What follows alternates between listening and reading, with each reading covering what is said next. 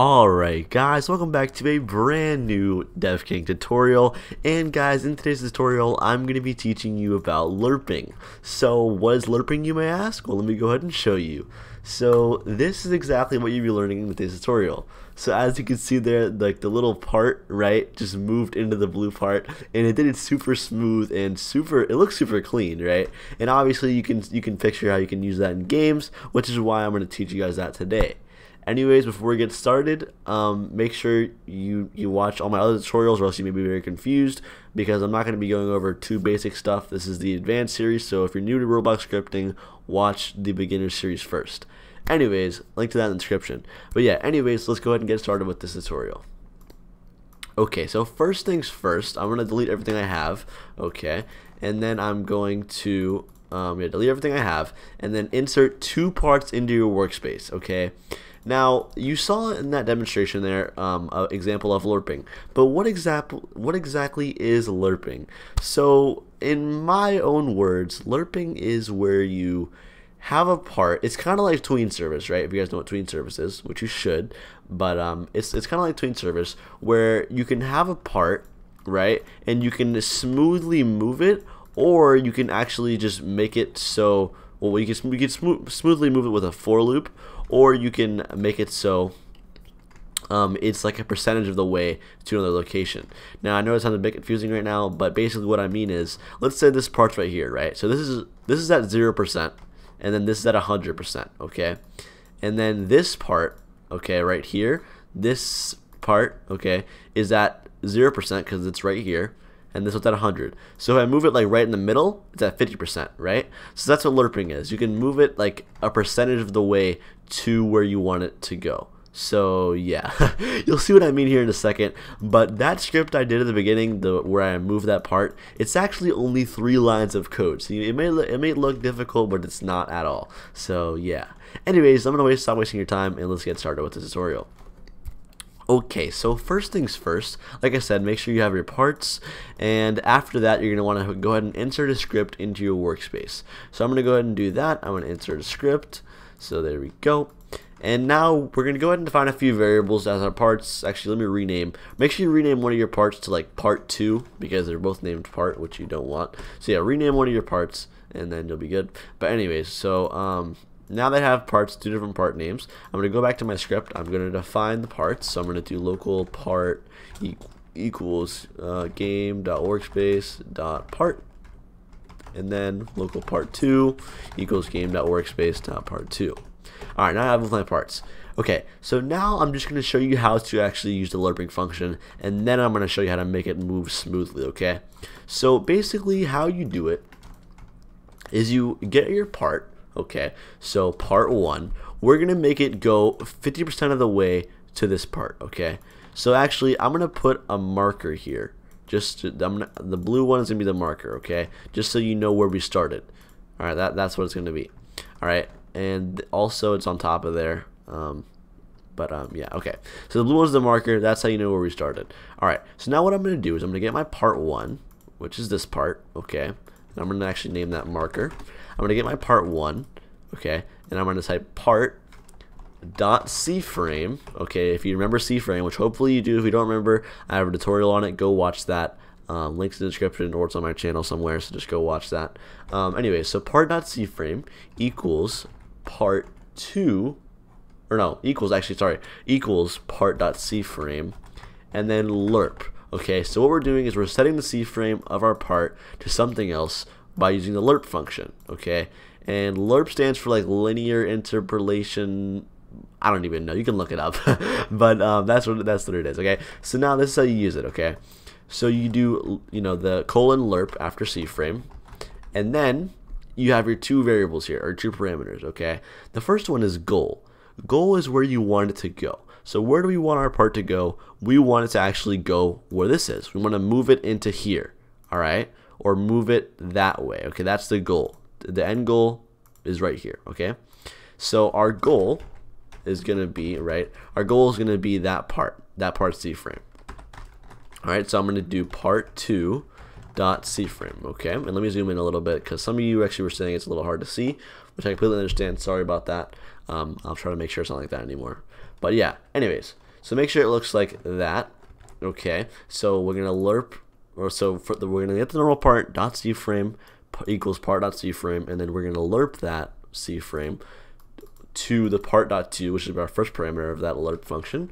And the second parameter is how far do you want to lerp it. So what percentage, okay? And now hopefully you guys know how to convert decimal to percentage. What you do is just divide by 100, right? I think, yeah. So like if I had 50% and I divide by 100, um, we can actually use the script to do it. I would get point, uh, 0.05, right? So actually, no, I get point point five. Sorry. Yeah, there we go.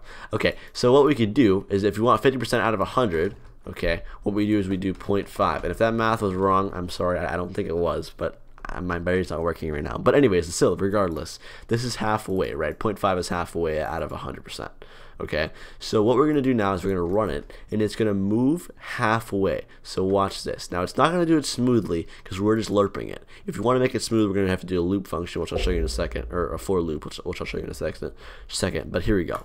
So here we go and boom. It moved halfway all right? Now I mean I look like halfway because my camera's not halfway but as you can see there it moved halfway all right?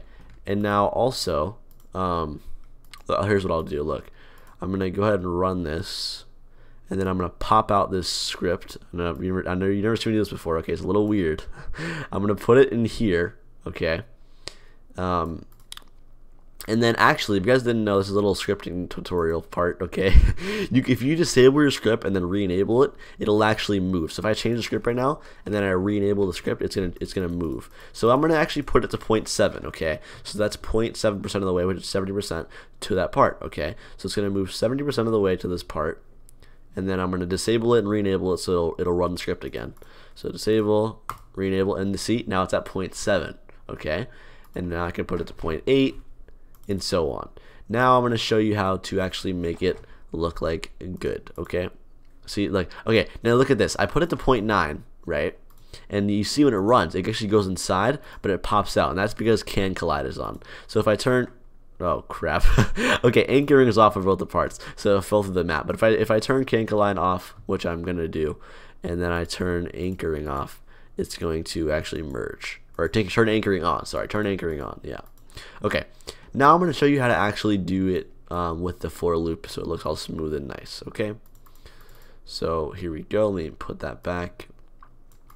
Okay, so now what we're going to do is we're going to make a for loop. So we're going to do for i equals um, point zero, or actually, yeah, zero. So if you guys don't remember for loop syntax, I'll give you a refresher, okay? So for i equals zero. So this is our first, where we want to start. We want to start at zero. And then what do we want it to go to? We want to go to one, right? Because the lerp is only from 0.0 to 1 so it's a decimal right? So we're going to go to 1 from 0 to 1 and we want to go by 0.01 okay? So it's going to go up by 0.01 every time it runs through the loop all right? That's that's how it's going to work. All right there we go. And then we're going to put this in there Okay, and now we're going to change, or we're going to put a wait in here so we actually see it happen. Because if we don't put a wait, it's going to do it so fast that we won't even like see it. It's like the snap of a finger, right? So we want to make sure we put a wait in there, and then we're going to put um, i for the for the last parameter. Okay, we don't want to put like a, a like percentage or how far we want it to be. We want it to actually slowly move with the loop. All right, so it's to move slowly. Now watch this, guys. Watch this. Here we go. We're to hit the run and then watch it move. I, am going to move it over here because it really can it can be anywhere. It's going to go there, but it's just going to go um, you know that way. So here we go and boom. Look how cool that looks. Doesn't that look so smooth? Like it's like tweening but it's just a lot simpler. Um, also if you guys are wondering like okay well why don't I use tweening or why don't I need to use lerp?